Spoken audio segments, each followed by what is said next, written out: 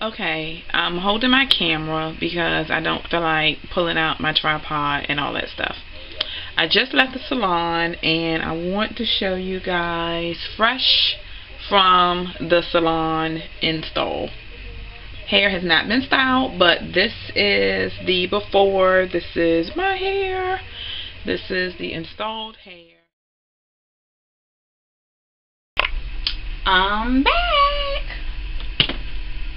Have some hair, some luxurious curly hair, and I love it. I love it. Okay, so this is a second install of the ONYC Kinky Curly Mongolian Hair. Um, I'm getting a foot cramp right now, so bear with me. Or is it like a Charlie horse in your foot? Ooh, that is the worst pain. Oh my gosh. Okay, so I wanted to show you guys my hair.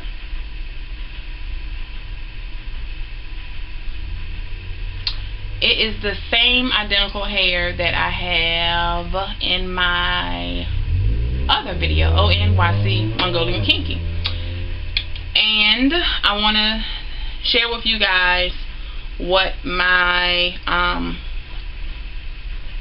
routine is on maintaining this hair. Okay, so this is what I do. I take my whole hair in the morning. For some reason, this hair, I can't just wake up in the morning and just style it around my edges without really touching this hair, like put a little sheen on it it doesn't work for me. Maybe there's another routine out there that I'm just unaware of. I've tried to um, pull my hair all the way up in a bun, let it down in the morning. That doesn't work because I have the big ring going around so it leaves an indentation in my hair right there. I've tried to just take the hair in two sections, put this section up in the back and take this and put it up like this in the back. That works a little but it still doesn't work a lot because when I take the hair down this is bent in this way and this is bent in that way. So that doesn't work for me either. the best option for me where some now sometimes it works sometimes it doesn't. I'm thinking it must be the way I sleep. The best option for me is to um just tie down my edges. And just tie down my edges. Put the scarf like this obviously. And just tie down my edges. And then put a silk bonnet on my Mongolian hair. Sometimes that works sometimes it doesn't. And when I said that works I mean as um what I have to do in the morning so it still has shine, luster, it isn't tangled and all that stuff. That's what I mean when I said that works. Okay, um, also I want to mention this is how I work with the hair. We all have different techniques that we use, but this is just my own personal opinion and routine of the hair. I just want to get that out. Okay, so in the morning, what I have to do is take all the hair in my bathroom sink and put it underneath running water. You can do it in the shower or whatever, you know, hold your head back in the shower. What I try to do is not let the water get on my braids unless I want to do a full wash. I just wash my hair um, when I got this installed a few days ago, so there's no need to get my braids wet. And I just figured wetting your own natural hair and then just letting the air dry, it's like, what's really the point? So I try, I don't get my braids wet unless I'm doing a full wash all the way to the scalp, which I usually do once a week anyway. So once I get my hair from underneath the faucet, and when I do that, I try not to wet my hair, which is to right here. I try not to wet my own hair, and I'm going to tell you why so what happens when I put my hair under the faucet, it only gets wet as far as the Mongolian hair up to this point because I don't want to wet my own hair. I dry it off, towel dry it off. I take about a quarter size of this and it seemed like I do something else. I take a quarter size of this, but this morning I mixed it with something else. I thought. Maybe I didn't. But this is the organic. Oh, I did. I did. Hold on one second. I, mi I knew I mixed it with two ingredients. Hold on one second. Okay, I knew I mixed this with something else that was the same color as this. So I took a quarter size of this with a quarter size of this. This is um, replenishing hair milk. Lightweight hair lotion. Frizz free for moisture and shine by Palmer's. I want to say I got this from Walmart. Hmm. And it is pure coconut oil, so it smells like this with the coconut. And what I did was um, mix those two together in the palm of my hand. I took the hair and did a section in the back and I put half right there did another section and did the other half. And then I paid really close attention to the ends once I did the sections because for some reason um, the ends frizz up more than the root for this. Don't this is just me. Um, after I put that in, I took my um, wide tooth comb and I ran it all throughout the hair.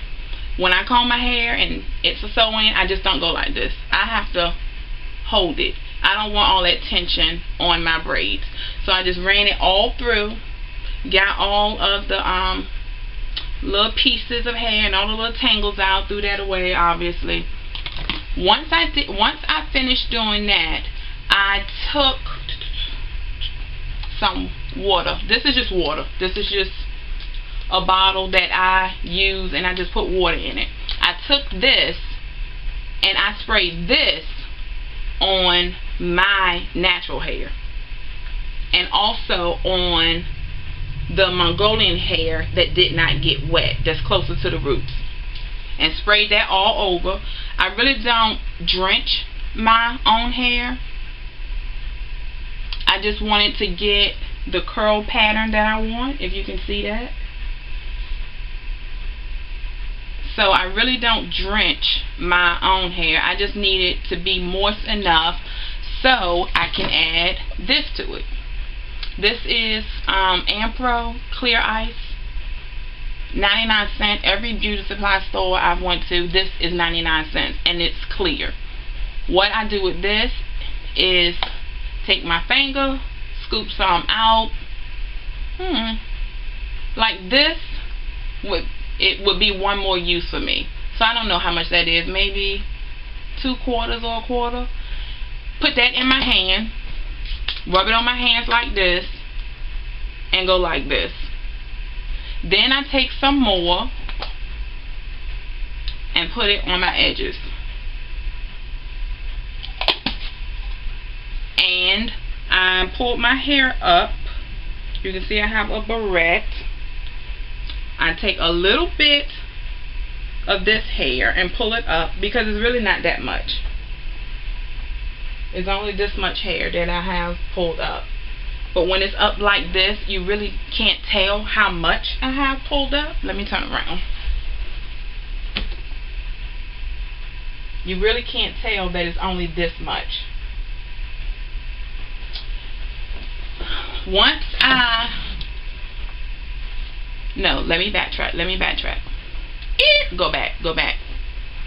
Once I put this on before I pull my hair up I put chi silk infusion in my hair. And I do the same technique that I did with these two. Part the hair put some up there and I have to use a quarter size. When I part the hair the part that's down is getting all of the chi oil. I'm making sure it's in there. Let the hair down. Put another quarter size of this in here. And when I put this in here, I do run it across my hair as well. Just one time. When it's all over my hair, I still take some more of this. Just a little bit, maybe a dime size. Take all my hair and just put it at the ends because for some reason you see how the ends look these ends will dry out before anything else with the hair so I want to make sure that my ends don't look brittle, dry, hard, and the rest of my hair is like silky, shiny. So I focus a lot on the ends. I'm losing a piece of hair right here. Focus on um, the ends as well. Then I pull my hair up. Um, after I do that, and I want to say maybe it depends on what I'm wearing. Today I have on a, a white tank and my hair is kind of on the tank a little bit. So what I did is took my blow dryer on high, low speed, and did like this. I didn't just let my hair blow away. I held my hand like this so my ends my ends can at least be dry before I put my clothes on. The worst thing that would happen is you have on a shirt, you go out with your hair wet, whatever's in your hair gets on your shirt and you're walking around all day with stains on your shirt. And God forbid if you color the hair. You know how sometimes you color your hair and you rinse it or you put water on it, the color kind of drips a little bit. You don't want to take any chances at all.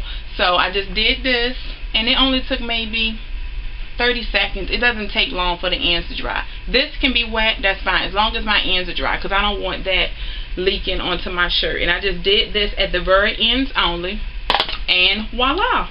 I would have showed you guys um, what I did as I was doing it this morning, but I didn't know how it was going to turn out. I need to do is use more of this like I did today and start um, incorporating this in as well. So this must really work. Frizz free because I have like no freaking frizz.